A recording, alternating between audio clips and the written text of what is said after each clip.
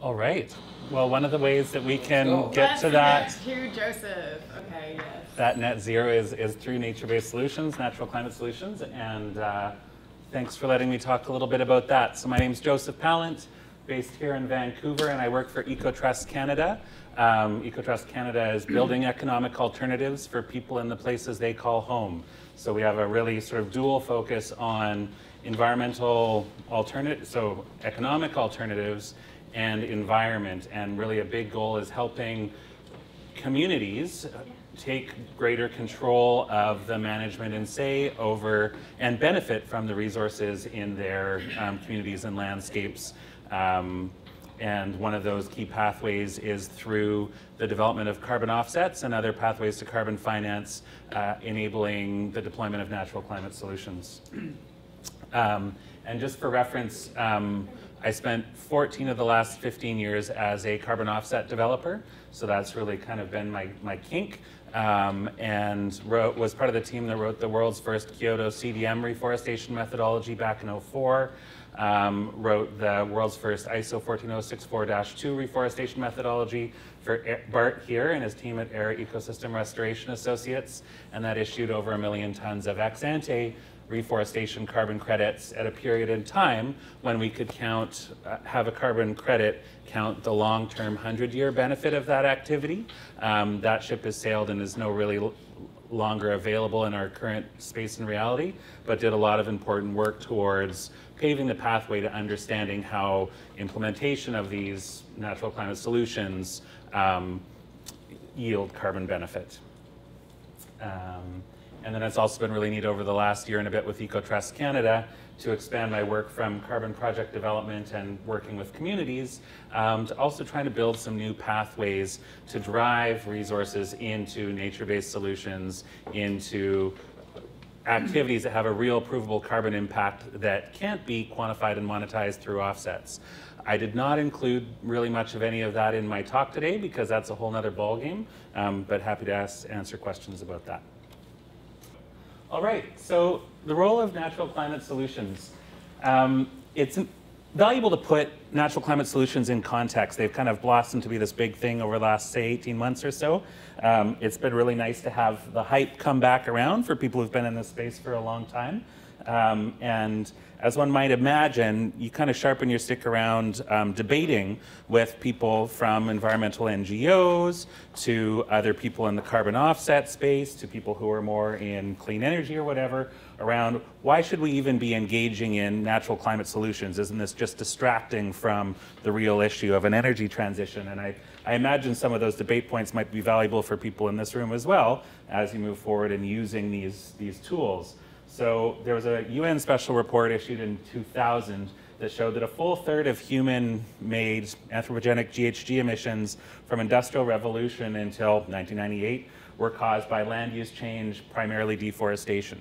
So that means that a third of the, the climate change problem is being caused um, by humans messing with the landscape. Um, and right now, our ongoing annual emissions from landscapes are around 20%.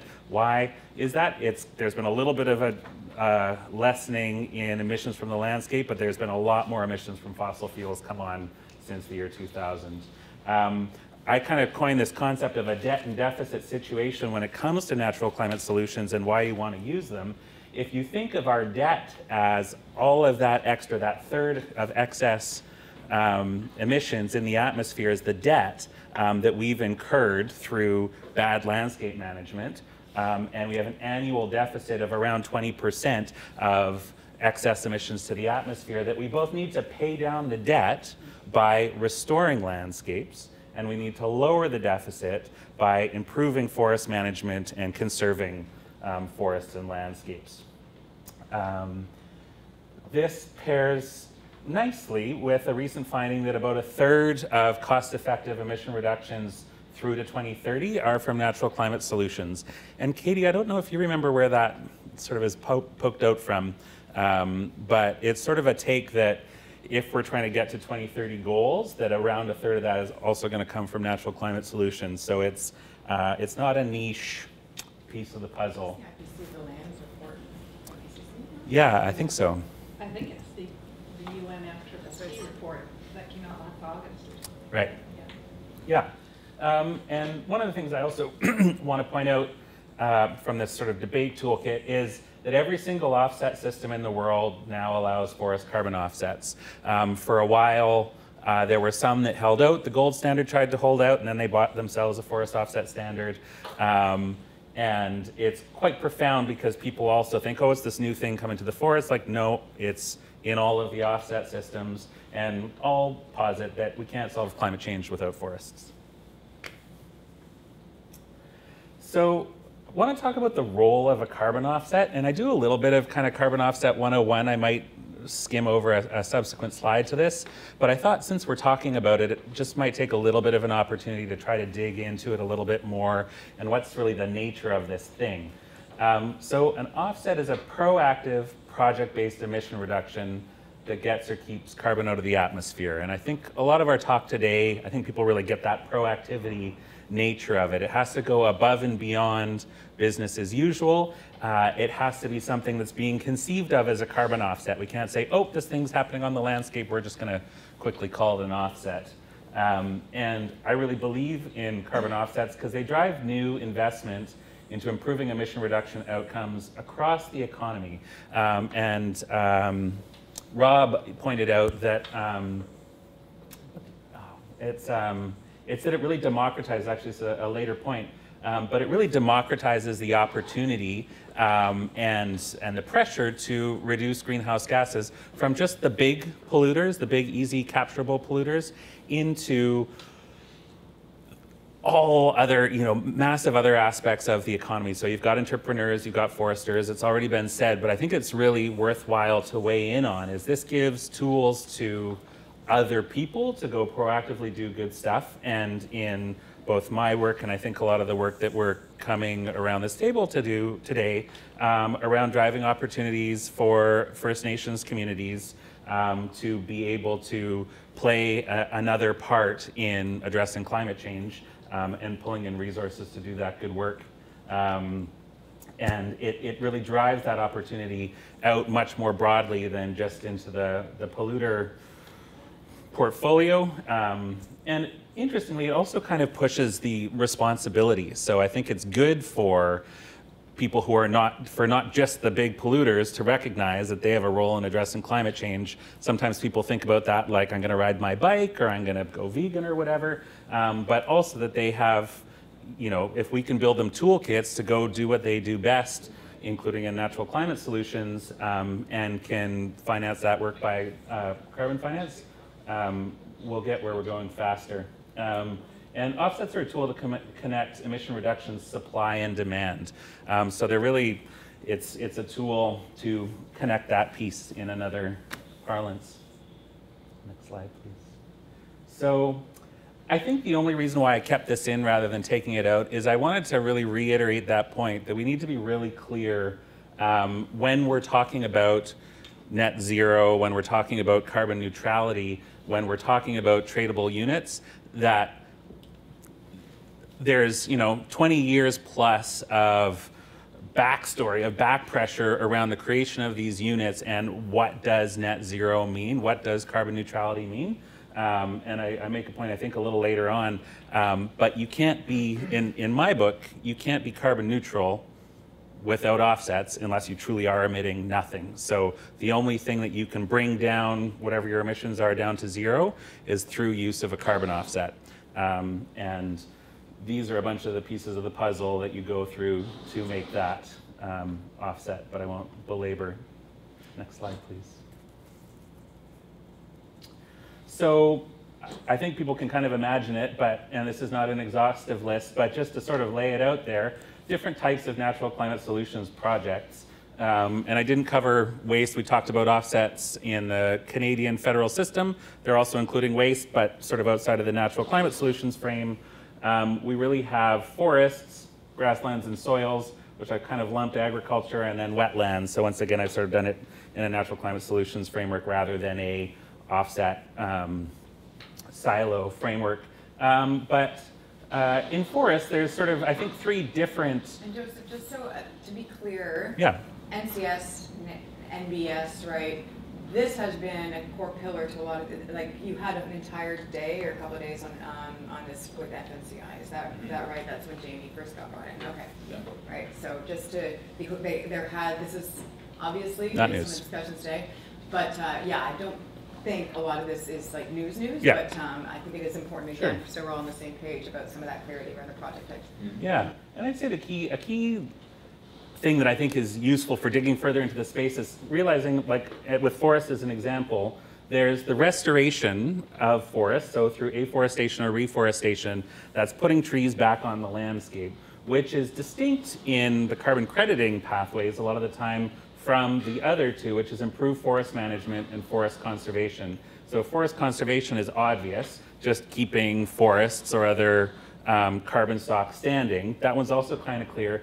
The improved forest management one is um, something that gets varying amount of, of love and understanding, but it's actually fascinating because what you have in, in improved forest management, IFM, is really taking a look at how we manage forests today, how logging companies do their work, how that whole sector works, and saying, hey, if we can add another value stream to your operations, which is keeping more carbon out of the atmosphere than would have happened in the baseline, um, I think that a fulsome uptake of, of this type of project and this type of thinking could actually lead to a lot of carbon value and a lot of reduced emissions in Canada.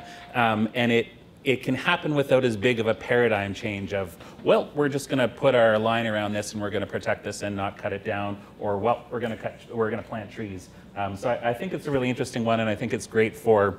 Uh, it's nice to get to talk about it in this space and have you think about it. Um, next slide, please.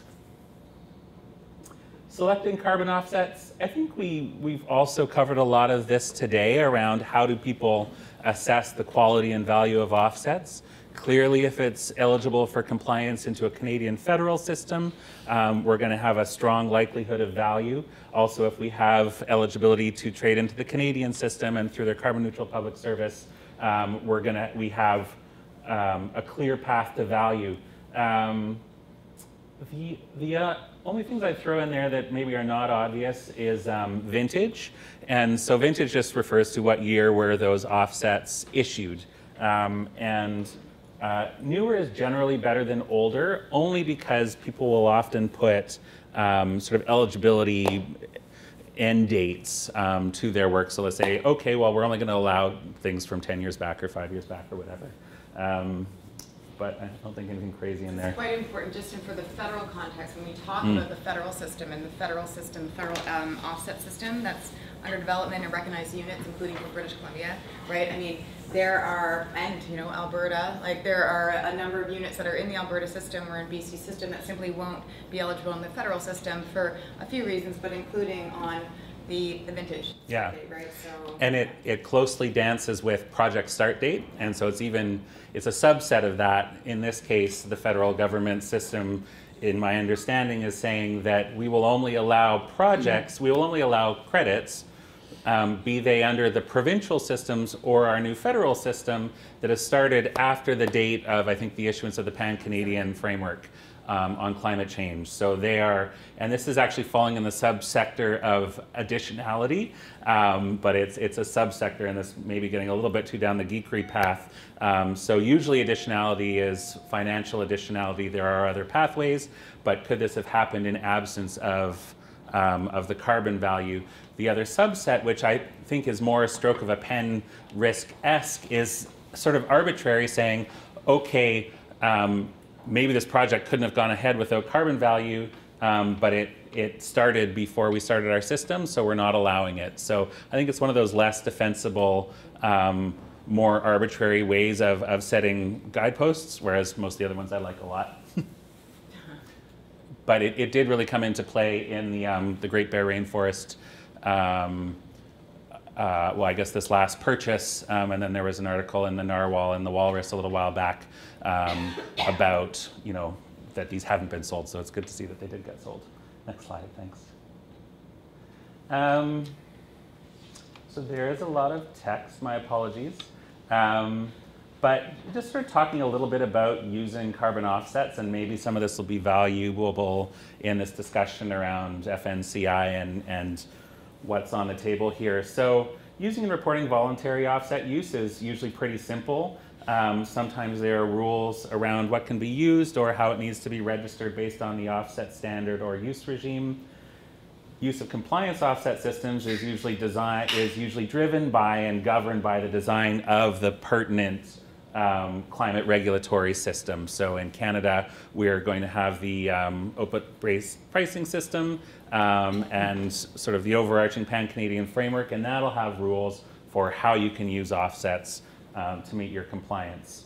Um, I think as this is still all moving and these systems are different around the world, different in different provinces, they change with legal rulings and with government changes. I just say that I think if you're not paying close attention to eligibility requirements, you're gonna get burned and AKA be made sad, as I'd, I'd put it earlier, um, and got the most laughs I've gotten in a long time. Um, it's, uh, and I think it's really pertinent in this discussion as we sort of start to toe into ITMOs. Um, Alex, I really liked what you were saying around you guys are drawing frameworks and boundaries for where you want to be achieving your net neutrality. Um, and I think that that's a really, that clarity, that's a good approach. And um, just making sure that your, your unit is, is fit for the use you need it for. Um, as I just said a, a couple minutes ago, it's my position, and I would say carbon market industry standard, that you can only use offsets to counterbalance emissions and hence it's generally a must for net zero.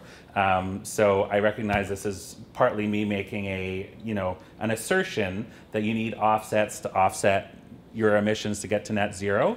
People could take a different approach. You could have regulations say that's fine. You could just make a good case for it and have better PR. Um, but I, I think it's important to, to recognize that, that what offsets are is therefore offsetting emissions and they're packaged and created for that use.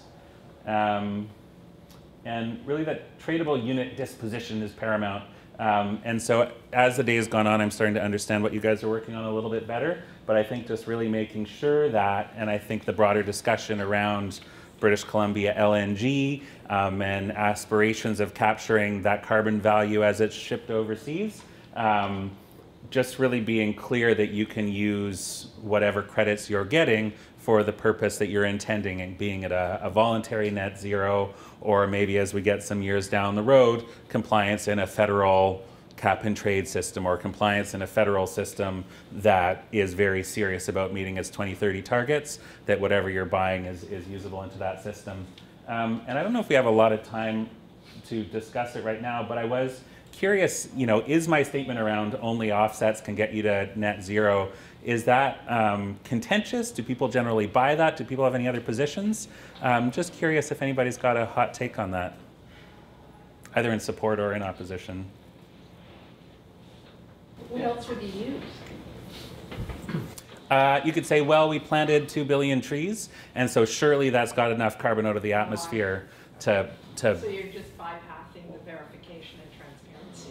yeah. No, no, I. I was wondering, Joseph, could you, could you, like an offset, we're always talking, it's had to have happened, right? And sorry, it could have been in the past, could have been just today, but it had to have happened. And couldn't we, is there an offset that talks about things that will happen? And, and this is the problem with trees, is that it will happen. Front end loaded in cost and back end loaded in carbon. I was thinking, well, if these guys wanted to say they're neutral, but they're buying something that's gonna happen ten years from now. Just like something that happened ten years ago, they could buy that. You know, it happened in twenty ten or whatever the expiry dates were. So why couldn't you buy something that's gonna happen in ten years as your offset? And that's what trees are.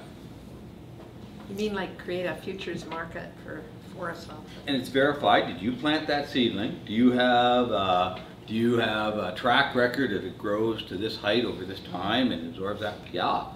And, and Been done. it's been done. Yeah, It- a lot of it in Australia. yeah, So years ago.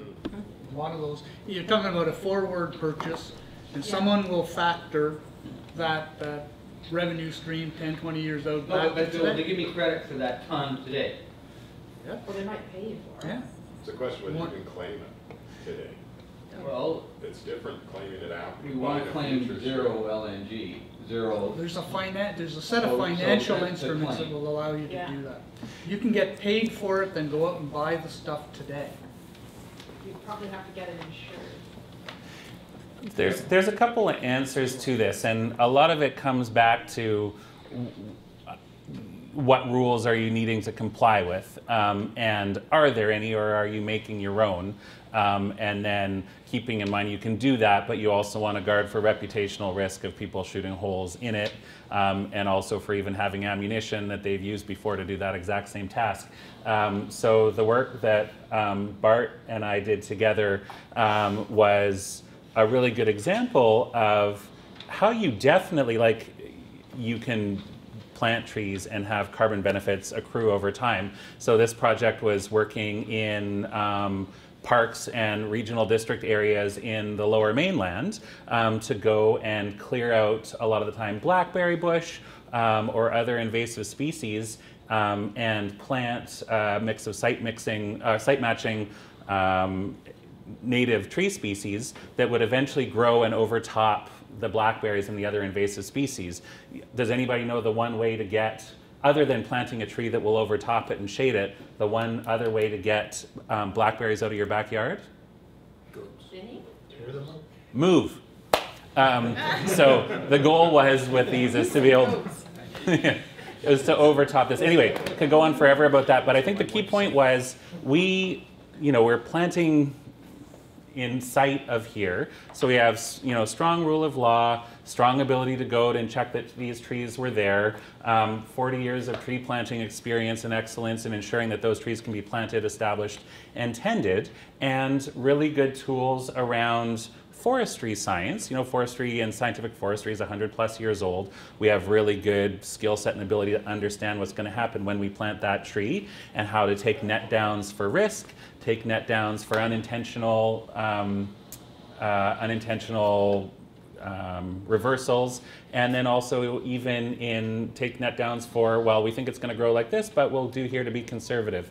And so under that, we were able to use the ISO 14064-2 standard to really create the, the protocol and the project plan, if people were paying attention to the slide that I skimmed over, um, and show that we would have these real carbon outcomes from this forest over time and we could be really sure about that. But the one key issue is is the timeliness or temporality of those emission reductions. And where we've come to today definitely in the compliance space um, and interestingly as compliance has taken on more of the oxygen of what is the carbon market you can only use an existing emission reduction outcome to pair against your now current emission. And so um, that's What's that, what's current? Is it like today, or is it this year, or is it this decade? Well, th- with the emission reduction outcome, it, it has to have already been hap- happened and been proven for you to get issued that unit, um, and then you can apply that to your um, emissions as they come down the pike. Um, so once again, I'd, I'd say that this is kind of it's my opinion to a certain extent, and how it works in the compliance systems. I, I, I don't think that there's any debate around that. How that works in the voluntary um, is a little bit up to you. But what I would say is having been through the trenches on this stuff and had a lot of hard learned lessons, there's already big targets on our back around offsets. A lot of people still don't like carbon offsets. They don't like commodifying nature. Um, they don't like letting the big polluters off the hook. So you need to be able to bulwark and defend that. And people, a lot of people don't like natural climate solutions. And I wouldn't let the sort of awesome last 18 months of bloom and excitement around this um, uh, confuse you to a lot of deep underlying enviro movement and even people in the energy space and renewable energy really don't like natural climate solutions. So I would say, I would personally, if you were asking me, say bite off those two things to defend. Don't bite off the third, which is saying, oh yeah, we can prove that this carbon emission reduction is going to happen in the future, but it hasn't happened yet. I think the only counter to that that I'm thinking of, is, A, we keep talking about targets at twenty thirty, but we won't accept something that delivers on that twenty thirty timeframe. It just, you know, Well, you can, ex- so so. create an obligation today that That- And you don't discount it, like you get into a financial world and it'll be discounted like heck, Paul. So it's not gonna make any difference, that's just people trading money. But if you can say, if you, guys, it's like, we're perfect around, if you, if you don't discount that credit, you say, look, I've got an obligation today, and I'll give you something that's gonna happen in twenty thirty, we'd be a lot better off with a nature-based solution, because it takes that long. Or plus, Yeah. Or you could make the voluntary commitment net zero by twenty thirty. Right. or you don't even say just uh, net zero, you just, you've got a twenty thirty Yeah, backup. so. But I think it's the other world, it's not just the voluntary, it's how do you get that future look into a compliance world? That's what I'd be. Uh, well, I, I will say. If I was here that- tomorrow, I'd raise Well, we that. haven't talked about really, uh, but it, I think it's critical to understand in the, uh, like Ottawa federal context right now, is this, we are, this government is looking at enhancing its current twenty thirty target, right? That, so enhancing that current, right now, two thousand five, right? It's thirty percent below two thousand five levels by twenty thirty, well, we have a pretty clear indication that this country is looking to enhance that, right? And also net zero legislation, it's coming, right? Net zero legislation, that longer term target. What we did not have back when that target under the conservative government was first established, put forward to the UN, right? This is a legacy from the Harper government and, you know, the liberals kept that twenty thirty target. There was no consultation right? Um, for better or worse, but there was no uh, thoughtful consultation around that target with various communities, business, First Nations, cities, provinces, right? Um, it's a different day now, though, right? Um, and so do expect a lot of thoughtful engagement with various groups, including provinces and other communities, businesses as well, right? Certainly First Nations, Indigenous, you know, um, around the enhanced target pathways and opportunities to actually pragmatically get there, and also the net zero discussions. So again, the, the timing of this is really, really good. Yeah. I think as it relates to the natural climate solutions, though, to, to your point about can I pre-purchase and someone guarantee, you get into this issue of, is there risk that they won't be generated? But the other aspect that hasn't been touched on around natural climate solutions, to Aaron's point about getting down to the molecule level, level is what is the cost of quantifying those reductions? So you hear a lot about regenerative agriculture, right? Or you hear a lot about soil sequestration, but at fifty dollars, uh, thirty dollars a ton, it's just not cost effective to measure that, right? In a, in a manner that allows us to create those credits going forward. This is again where the, the governments that are creating these frameworks need to find different ways potentially to quantify those soil, the removals, the sequestration in the soil, whether it be for forests, wetlands, or, or agriculture, or we need to have uh, new technology that allows us to make those, those, uh, sorry, Every time you talk, you come up. I know. Yeah, you.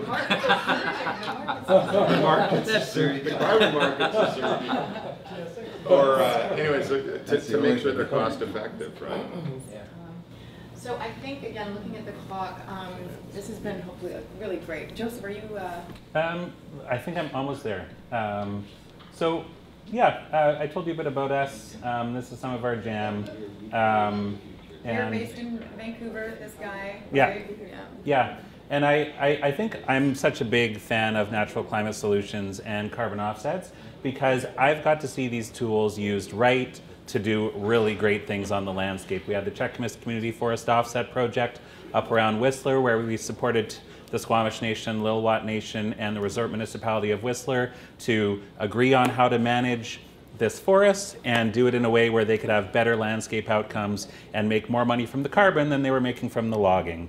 Um, we're working on a project in Northeast Superior as well on a tenure to support Six Nations in having a bigger say to add a stick to their constitutionally guaranteed right to um, be consulted, to also add carbon market value to what they're proposing which meets the priorities for their for their goals for the landscape. Um, there's also been people who've done or tools that have been used less well, and so I also recognize that. But it can be done well. I think we're on a really good path in Canada right now for this, and I would say just keep sticking to the high quality tools and pathways, um, and we can create a really good reality for natural climate solutions and for their use in rural resource dependent and indigenous communities to make real positive change in Canada. Thanks. Thank you so much, Joseph. Again, and you're home, this is your hometown, you're right down the street. Um, I, I'm gonna pass it back to Paul very quickly to talk about some of, and now you have the full day um, of, you know, discussion, questions uh, behind us. Um, some of your thoughts, again, from that investor perspective, the financial perspective. Um, and I, then it's uh, really Alex, you and Ron to take us home. Wrap it up. Yeah. Right, five minutes. I will speak, I will speak from the perspective, if I can, of, of the large private sector investor space. Pension funds, very large capital pools, hedge funds, that kind of space. So remarks uh, within that uh, perspective. Those folks are really, the, the question is, is why have, why have the very large amounts of capital that should have been moving into low carbon not moved into low carbon up to now? And in my opinion, two, two fundamental reasons. One set of reasons are structural reasons, and then risk on a, on a modeled uh, basis. Structural reasons, one, uh, these kinds of projects, uh, the ticket size is just too small. The ticket size is just too small. Infrastructure funding, large project finance, uh, the big capital pools, if you're less than $200 million, don't even, don't even talk to me. So very, very difficult. The one perhaps exception to that are some large entities that are seeking what, what are called natural hedges. So if you're a large emitter, you have a large power load, that power load comes from largely fossil fuels. What do you do? You can go out and invest in a wind farm in Europe. Make money on carbon while you're spending money somewhere else. So there's some of that kind of money that's available, but again, very large ticket sizes is, is what the uh, large private sector space is looking at. For smaller projects or for smaller pools of projects, call it for argument's sake in the 50 to 200 million range, investors want to see a path to a billion dollars. They do not want to give anybody, and I'll say that uh, prescriptively, they don't want to give people $50 million unless they can see a path to spending a billion. And, and they want that path locked up. Um, and so that, that can get you those smaller amounts of capital for smaller pools. For the very small projects uh, or infrastructure, it is extraordinarily difficult to extract funding from those traditional large capital pools. It's virtually impossible to do that.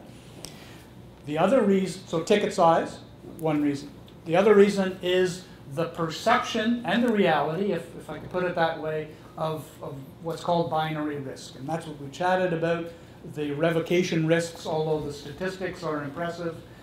If you talk to people, it scares the crap out of them that the government could come to you three years after you have put your money in and said, I'm very sorry, uh, got to do it all over again.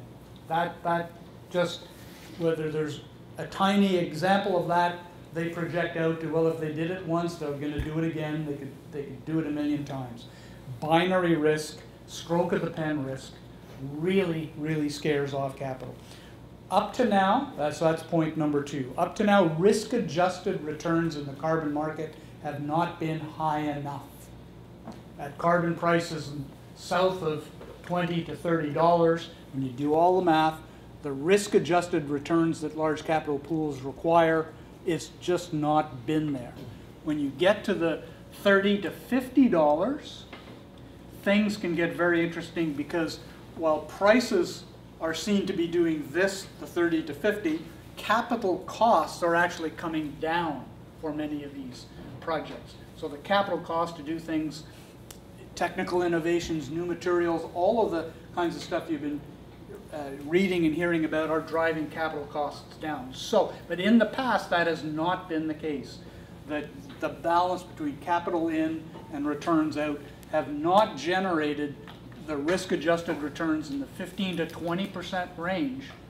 And I'm not talking venture investors, I'm talking, I'm talking uh, investors in commercial, commercial entities that they're looking for.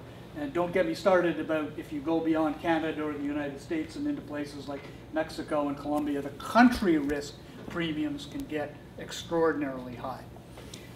So that's point number three, risk-adjusted returns.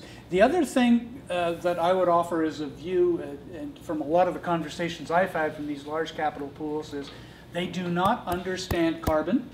They don't actually want to understand carbon. They want to understand your investment thesis in terms they get. So you talk jargon to them and you're shown the door very, very, very quickly. So this is all got to be translated into their terms if you expect them to give you money. And I would posit for government, it's much the same thing. Government has its own language and, and traditions and all of that. You have to speak it in their language, otherwise, very difficult. The other point, uh, the last point there is these, this carbon market stuff is what many investment professionals call alternative investments.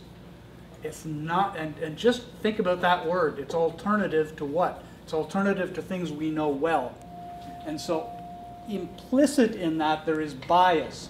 And it's taken pension funds a very long time, and I can tell you some very creative restructuring or structuring of these deals to even allow them to do alternative investments such as a wind farm. This is very, very hard for them to do, to get through. So, structural reasons. Then, to a point Alistair has, has made, the other piece is risk, is, is what the risks you can model. Uh, large capital pools don't even talk to them about technology risk. They do not, if there's any sniff that this stuff is not proven, but any number of times in commercial reality, they walk away very quickly. And then there's delivery risk. Talk about advancing credits created 10 years from now. What is the probability that, that you, the buyer or the investor in an entity that's creating these, will ever see your money? Is, is a very tricky and difficult thing to do. That, those risks are formed from the counterparty risk, the project risk, the project carbon risk, things like leakage and baselines, and, and regulatory risk, the traditional kinds of regulatory risk. So very, very difficult.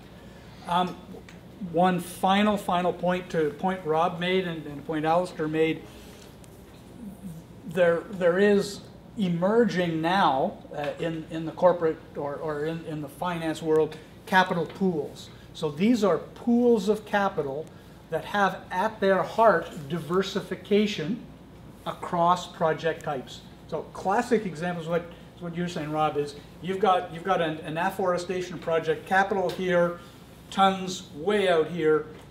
Capital pool will pair that with a landfill that'll generate you tons now, and the tons go away. To your point, you've got to smooth out the carbon offset delivery curve and the capital curve.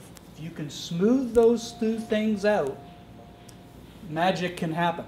And at first, I would argue, uh, First Nation institutions and, and potential is, is a classic for that because you can pair, you can pair a fuel switch with a forestry conservation project, with an afforestation project, with an energy efficiency project. On paper, you can do it. Just try herding those cats. It's, it's very difficult. But capital pools are one way to arguably do that. So in terms of your policy options, what about creating a capital pool that is directed towards bundling these, these kinds of, of projects up? Because that is something that is beginning to, to emerge, the so-called carbon funds that can provide those pools of capital. So again, structural reasons and reasons of just flat out risk that up to now, uh, the, the pricing in the carbon markets has not been sufficient to generate the returns that these large capital pools need. Optimism for the future as prices go up, And technology drives capital costs down, but we'll see how much money gets raised. We, we have a lot of intentions out there, Mr. Think BlackRocks of the world, a lot of large capital pools, pension funds in Europe. A lot of talk, not a lot of money flowing in. Yet, but they're asking a lot now, not a couple of days go by, and there Yep. aren't questions coming in. They're talking more for sure. They're talking more for sure, and that's, And they're applying With- more pressure on cor- Yeah. other corporations that they lend money to or. absolute, the whole ESG movement, all of that. TCFD. uh, So there's a lot of the enablers that are starting to happen. Thank you. Excellent. Well, Thank you. that, that's an interesting idea, a capital pool versus selling a bunch of offsets. It should, we're thinking of that. Mm-hmm. Mm-hmm. It'd be a different way to structure. Something they have in DFO, just like as a coincidence that I would know, is a complementary measure.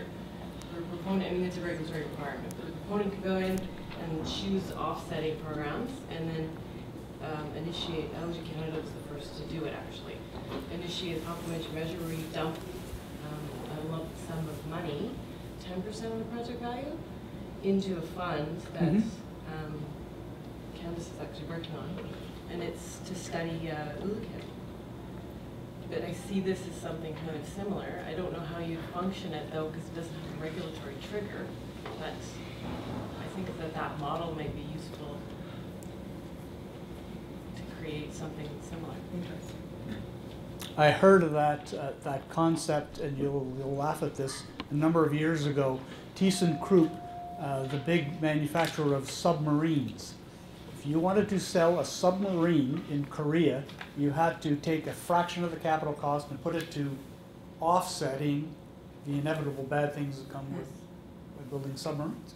Uh, and it was a material amount, it was a three or four percent, huge capital pool that had to go to certain uses, education, local initiatives, yada, yada, yada.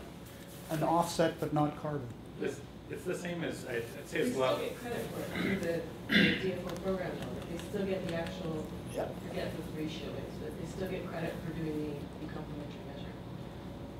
I think this is a lot like the ERA fund in Alberta, um, and even like discussions around giving some, of I forget what it's called, but giving some of the carbon tax back um, to emitters. I think it's sort of a similar thing where there's money raised, you know, on a carbon tax, there's money raised in Alberta through a system, and they just have a chunk of money, and hopefully it's gonna achieve some outcomes.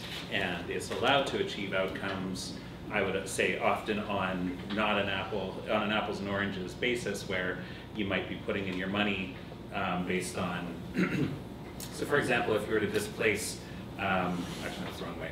Um, but basically, uh, if your carbon tax money is like thirty-five dollars, um, but then you put that into the like tech fund, for example, it's not gonna, re- it's often, and it's not forced to reduce one ton of carbon dioxide. Um, so there's sort of that risk about how that money gets spent. Um, is it getting more than a, more than the tonnage that it was displacing or less? Um, but I think it's definitely a tool that's in place and may continue to have a role. Well, it's, it's interesting because Alex, if we go back 20 years or some long time, we thought that you could get um, carbon offsets to help pay for the Great Bear Rainforest conservation, right? Like there was a revenue stream. But in the end, we ended up going to a capital fund because of course that was 20 years ago and you couldn't do that. But, but there might be some lessons from history there. There's always lessons from history. And there's a lot of, you know, scars from those around the room and beyond who have gone through it, so hopefully others can avoid it and only, you know, look at the best practice. Speaking of, not saying you're old, okay. I just want to ask Yes. a a question. um, Paul or others may, may answer or just comment on. it. And uh, I don't know if there's a a linkage here or not, but uh, a number of the speakers um, with FNCI, like Chris Bataille, um, have emphasized that this kind of scenario that we're working on um, is really a stepping stone as opposed to uh, an outcome.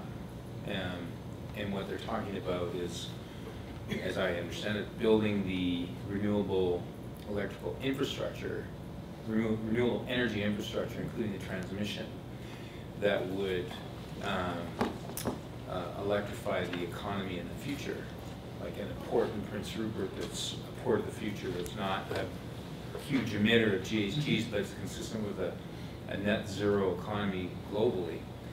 Um, So we're talking thirty years from now, when we're supposed to be at net zero. Um, And the, the financing is uh, obviously a challenge, and so the BC Hydro's uh, assessment of the costs of the, if we were to go with AC lines to electrify any of these scenarios, you're looking at around three billion dollars in transmission infrastructure. So that doesn't, that doesn't include the renewable generation sources, whether that's wind, and Ron Monk's an expert in this, he's gonna be talking about it tomorrow. Um, Those are incremental on top, but if they've got a market, being the pipes and the plants and other things, uh, then presumably it makes sense to build them. But from a financing perspective, um, what we've been led to believe so far is that the only source of those kinds of funds are public sources. So the government of Canada, or the government of British Columbia, under their MOU, they have this green MOU, green electricity MOU. They put six hundred and eighty million dollars in, well, put another 3 billion in and, and build the infrastructure for that, not only the current economy, the current investment that would be associated with net net zero LNG production, but also that future economy, which would be, you know, hydrogen and splitting methane into hydrogen, and carbon product, and all that kind of stuff that Chris talks about. So from a long-term investment perspective, you know, the kinds of pools of investment you're talking about, which don't necessarily rely upon high rates of return in the short term, they're more kind of, you know, transmission infrastructure type stuff.